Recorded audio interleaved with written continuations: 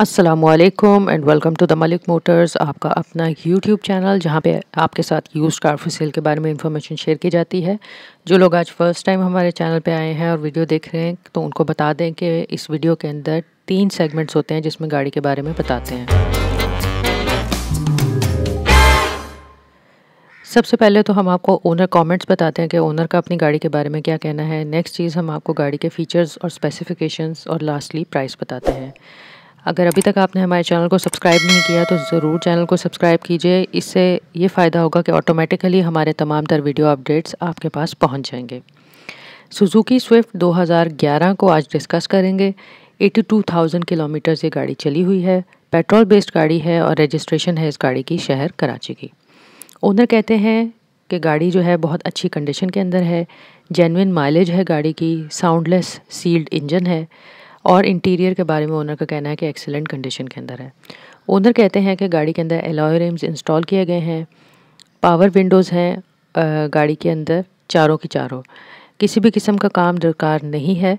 Under coating की गई है गाड़ी के अंदर और ज़्यादातर इसको जो है वो डीएचए के एरिया के अंदर ही चलाया गया है। ये तो ओनर कमेंट्स थे। अब गाड़ी के स्पेसिफिकेशंस के बारे में की तरफ़ चलते हैं ताकि आपको गाड़ी के बारे में आइडिया हो जाए।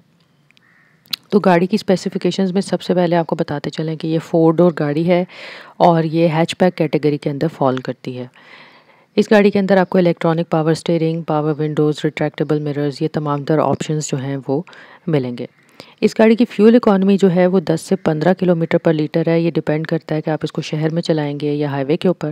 ये गाड़ी की बैक सीट का व्यू है और आप देख सकते हैं बेज और ब्लैक के कॉम्बिनेशन से गाड़ी के इंटीरियर को डिज़ाइन किया गया है, जिससे गाड़ी का इंटीरियर बहुत स्टाइलिश लग रहा है। गाड़ी की बैक सीट्स में लेग रूम जो है वो भी बहुत अच्छा और डिसेंट है। ट्रांसमिशन टाइप आपको बता दें, जैसे कि आप स्क्रीन के ऊपर देख सकते हैं कि मैनुअल है और पाँच स्पीड के गियर बॉक्स के साथ है।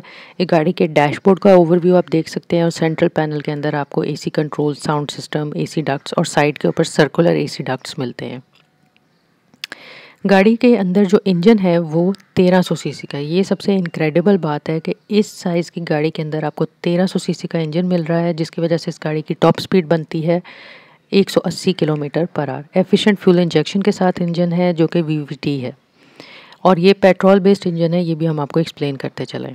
गाड़ी का इंजन जो है, वो भी इमेकुलेट कंडीशन में है, जिस तरह के गाड़ी का इंटीरियर और एक्सटीरियर आपको हमने वीडियो के अंदर दिखाया है। व्हील साइज़ पे नेक्स्ट बात करते हैं कि 15 इंच का गाड़ी का व्हील साइज़ है, जो कि steel wheels with wheel caps के साथ आता है, लेकिन ओनर ने मेंशन किया कि इसके अंदर एलॉय व्हील्स इंस्टॉल किए गए हैं।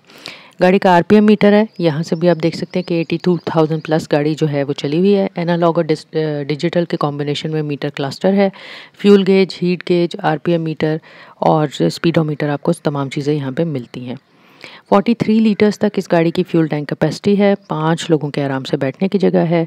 गाड़ी के फ्रंट व्हील्स के अंदर आपको वेंटिलेटेड डिस्क ब्रेक्स मिलेंगी और पिछले व्हील्स के अंदर आपको मिल जाते हैं ड्रम ब्रेक्स अगर ये गाड़ी आपको पसंद आई है और आप इस गाड़ी को ख़रीदने में इंटरेस्टेड हैं तो ओनर का cell phone number description box में दे दिया गया है। वहाँ से आप ओनर से रबता करके गाड़ी के बारे में मज़ीद मालूम भी हासिल कर सकते हैं। गाड़ी की बत, प्राइस बताते चलें इस गाड़ी के लिए ओनर डिमांड कर रहे हैं twelve lakh seventy five thousand rupees और इसकी स्पेसिफिकेशन भी दोबारा बता दें कि ये सुजुकी स्विफ्ट डी एक्स है 2011 का मॉडल है 82,000 किलोमीटर चला हुआ है। उम्मीद करते हैं कि आज की वीडियो आपको बहुत अच्छी लगी होगी। अगर ये वीडियो आपको पसंद आई है और तो इसको ज़रूर लाइक कीजिए चैनल को सब्सक्राइब कीजिए अपने फ्रेंड्स एंड फैमिली के साथ हमारे कॉन्टेंट को शेयर कीजिए। अगली वीडियो तक दीजिए इजाज़त अपना बहुत सारा ख्याल रखिए। अल्लाह हाफिज़।